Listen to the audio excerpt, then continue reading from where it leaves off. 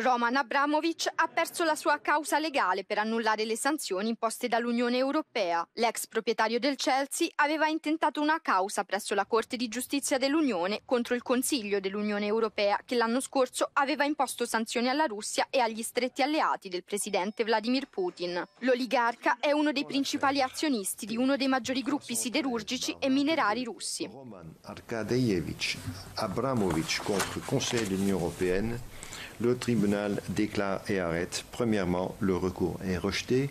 Deuxièmement, M. Roman Arkadeyevich Abramovich supportera ses propres dépens ainsi que ceux exposés par le Conseil de l'Union européenne. Abramovic può ancora fare appello. Per quanto riguarda l'ex presidente ucraino Viktor Yanukovych e suo figlio Oleksandr, le sanzioni dell'Unione sono state revocate. La Corte ha concluso che il Consiglio europeo ha commesso un errore di valutazione.